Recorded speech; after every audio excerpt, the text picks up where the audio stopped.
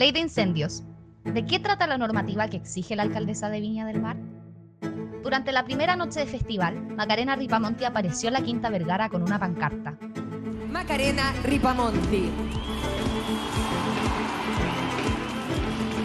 Buenas noches, alcaldesa, y buenas noches a todos. Le damos un gran aplauso.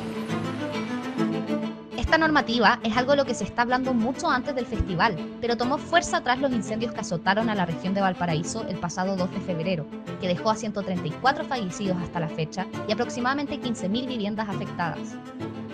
¿Pero qué es la ley de incendios? Y hoy vamos a presentar nuestro plan para combatir y antes prevenir la temporada de incendios de este año 2021-2022 es un proyecto ley que se ingresó el año 2021, a raíz de los incendios que afectaron a la zona centro-sur del país ese año.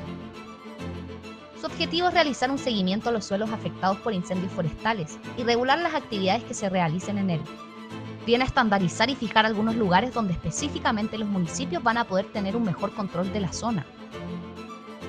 Además, busca prohibir las plantaciones forestales ubicadas en las cercanías de zonas urbanas, sin embargo, esta iniciativa no ha avanzado y se encuentra estancada en la Cámara de Diputados y Diputadas.